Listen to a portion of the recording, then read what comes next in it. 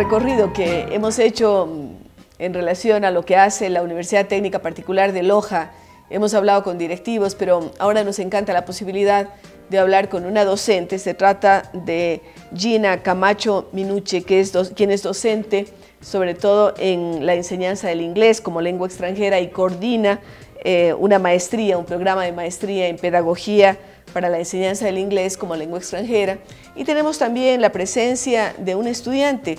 Eh, nos referimos a Patricio Vera Ramón, quien además de ser estudiante de tercer ciclo de la titulación a, psicología, de psicología de la modalidad abierta y distancia, también labora en el Departamento de Operaciones del Área de Servicios Estudiantiles en línea para la UTPL. Así es que los dos les damos la más cordial bienvenida.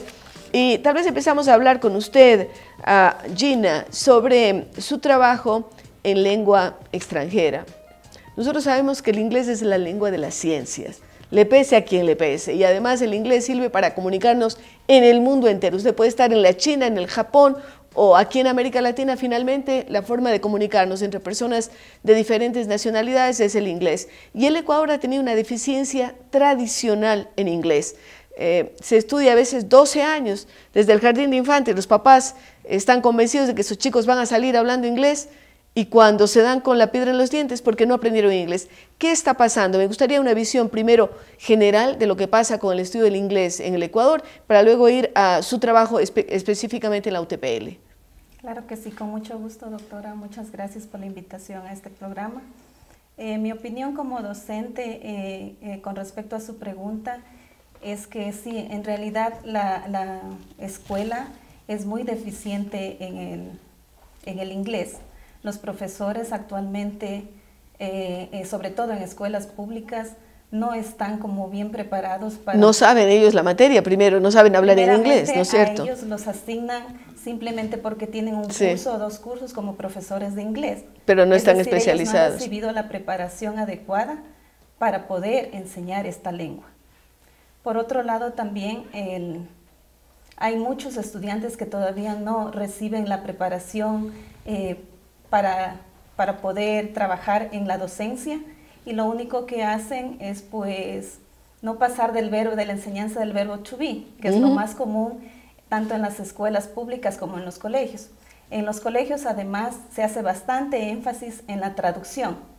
Los profesores lo que hacen es traducir todo lo que los libros tienen, por lo tanto el alumno no está acostumbrado a, pensar en inglés. A pensar en inglés y a escuchar el idioma, porque usted sabe que mientras más escucha el estudiante, más produce luego. Sí, y, tenemos el problema de que ahora para estudiar en cualquier universidad extranjera le exigen suficiencia en inglés. Exactamente, y uno de los requisitos principales, sobre todo si uno quiere estudiar una maestría, es rendir el examen internacional académico TOEFL, o el IELTS, que lo administra Cambridge. Entonces...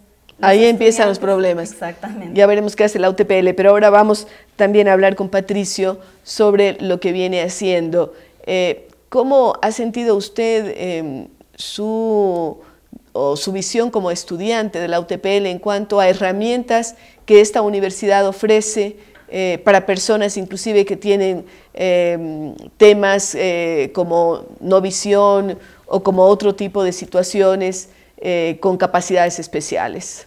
Claro, este, como no visión y, o baja visión. O baja visión. Claro, yo como, o sea, hace, hace unos años nomás, este, era muy difícil, era muy difícil para mí, este, o... Estudiar, ¿no es cierto? Muy difícil estudiar o manejar un libro de braille, muy difícil pero este, cuando, la, cuando me inserté a, las labores de la Universidad Técnica Particular de Loja, eh, inicié mis estudios.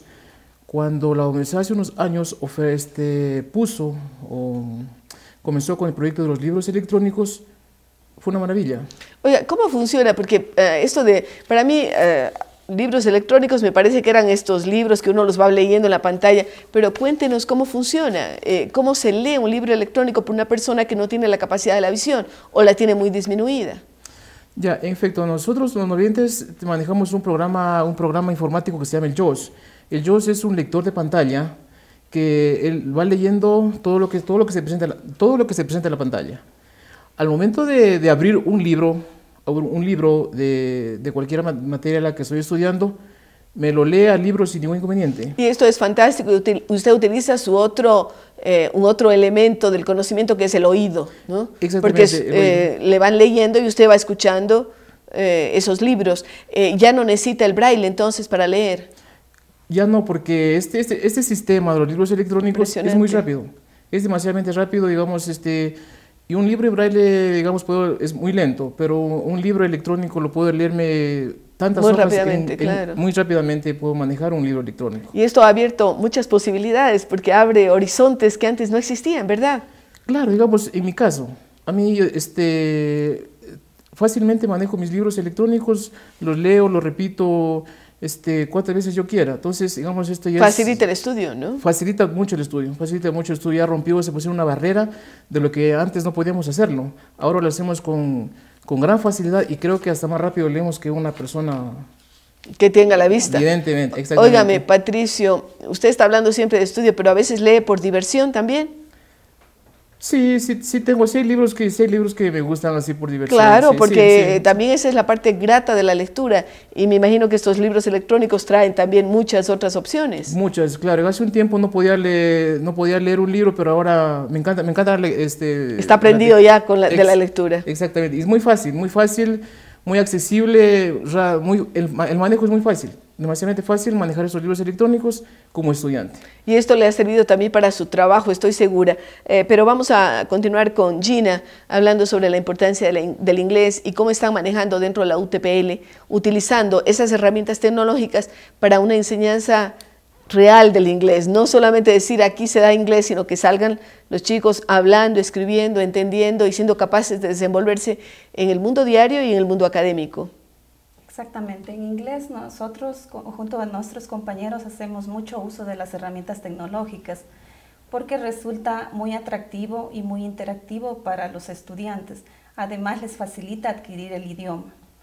Eh, audios, por ejemplo, programas que nos permiten que ellos graben sus voces y luego puedan escuchar la forma en que pronuncian para que el profesor les dé la respectiva retroalimentación. Eh, facilita mucho el, la adquisición sobre todo de listening y la producción del idioma eh, en el caso de speaking. ¿Y cómo han recibido los estudiantes estos apoyos tecnológicos, como por ejemplo los audios, la posibilidad de grabarse que usted mencionaba para que haya la corrección inmediata del profesor?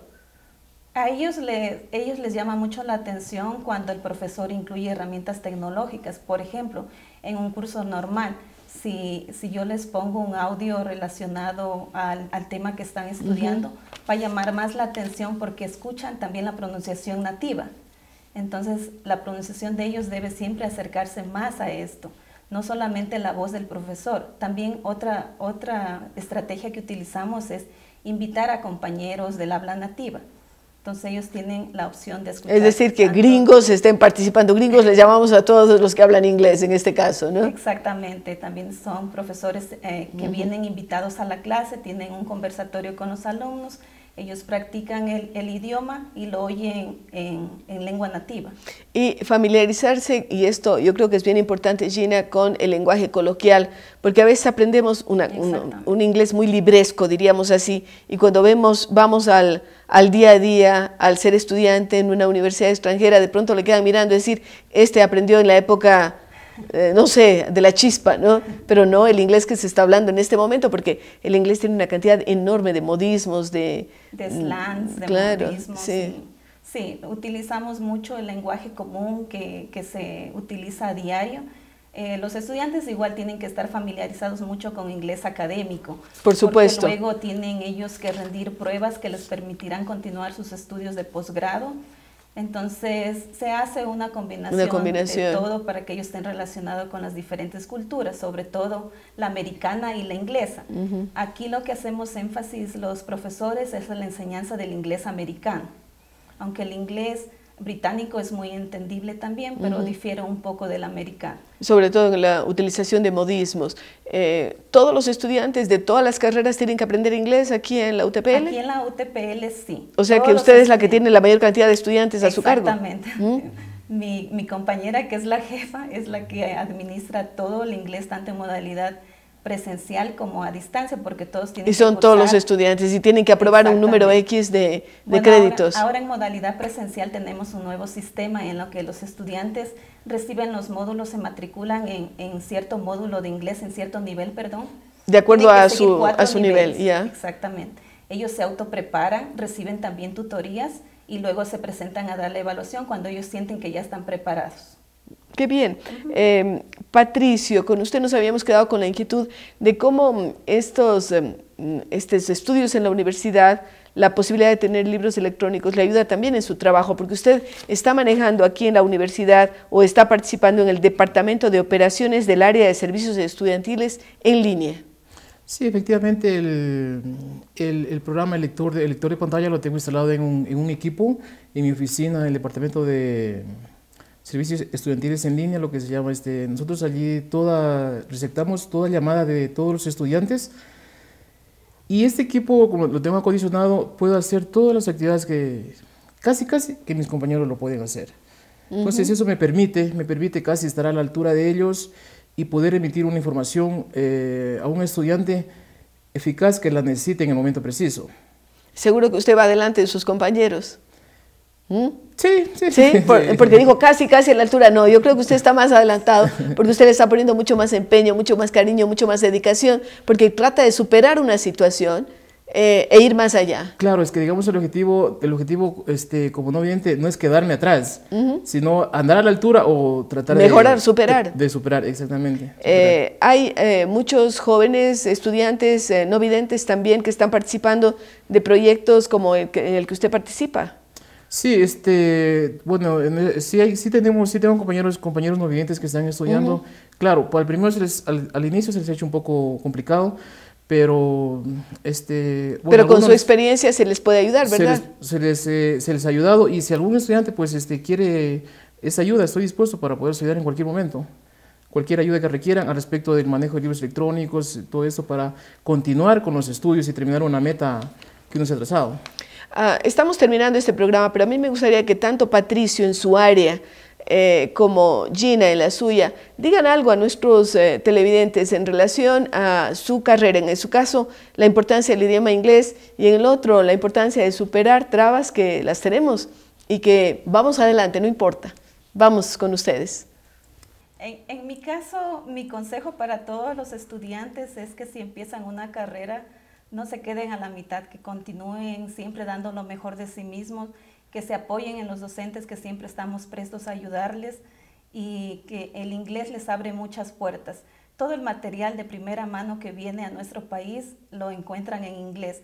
Hay muchas personas que les encanta el idioma porque tienen que o, están obligados a aprenderlo porque el posgrado les exige dar este examen que es requisito. Es mejor prepararse con anticipación, mejor prepararse a tiempo, estar bien preparados porque esto les va a abrir muchas puertas y les va a, si no encuentran trabajo de la especialización que han escogido, pues si ellos saben el inglés, con esto se les abrirá muchas puertas. Una herramienta fundamental. ¿Qué nos dice usted, Patricio, respecto a superar dificultades? No, yo, yo motivo a todos los estudiantes que, que estamos matriculados y a, los, y a, los, estudiantes que quieren iniciar con una carrera, eh, en especial los, a los no videntes o baja visión, que, que, que se atrevan nuestra universidad, la universidad, la UTPL, ofrece, ofrece este, eh, herramientas virtuales muy accesibles para, para, los, para los no videntes, mucho más fácil para los, para los videntes. Por ejemplo, yo como estudiante puedo hacer mis evaluaciones, mis cuestionarios, mis foros, mis chats, participo sincrónica y sincrónicamente en todas las actividades con el lector que tengo incluido en mi, en mi equipo. No es, no es, eh, ahora ya se rompió esa barrera.